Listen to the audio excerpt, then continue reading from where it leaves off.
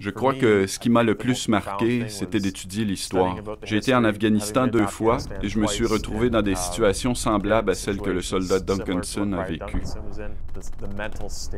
J'imagine comment se sentaient les soldats qui recevaient l'ordre de s'aventurer dans un milieu très dangereux, affrontant des situations imprévues pendant qu'on leur tirait dessus et qu'ils subissaient de très lourdes pertes. Puis la nuit passée sur cette crête, l'invasion par l'armée allemande, la contre-attaque, toute la confusion et la souffrance, tout ça, ça s'est produit à un endroit. Faire le lien avec mes propres expériences là-bas, c'est ce qui m'a touché le plus.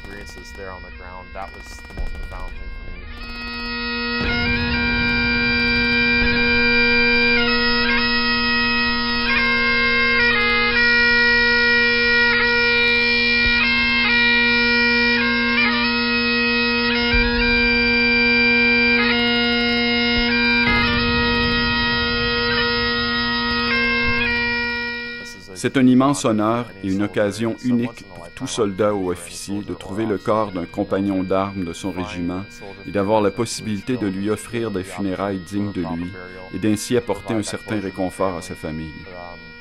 Cette tâche revêt la plus haute importance.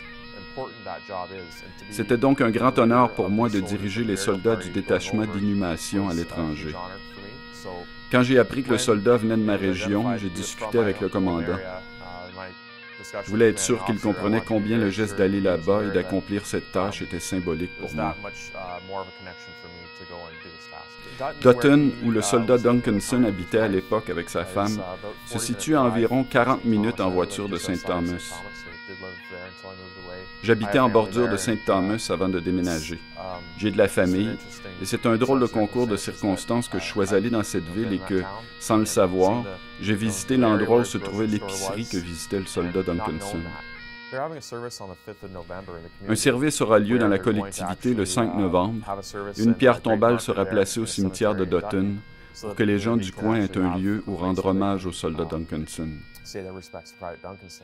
Un détail intéressant, avant que je parte, ma tante m'a remis des pots contenant de la terre de Dutton et m'a demandé Peux-tu veiller à ce que cette terre se rende à la tombe du soldat Duncanson? Et pourrais-tu nous apporter de la terre de la Belgique pour notre service, s'il te plaît?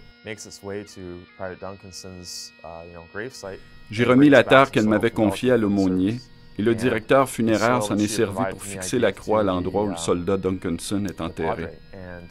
La terre utilisée pendant la cérémonie provenait donc de Dutton. Tout était lié en quelque sorte.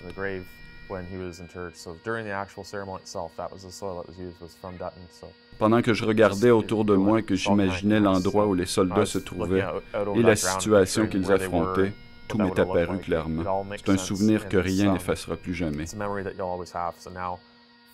Alors maintenant, peu importe le nombre d'années qu'il me reste à servir dans les forces armées, et même si j'éprouve la difficulté en formation ou en remplissant les tâches qu'on m'a confiées, je me souviendrai que d'autres militaires de mon régiment ont vécu des choses bien pires encore et qu'ils s'en sont sortis. Voilà le souvenir que je conserverai de cette expérience.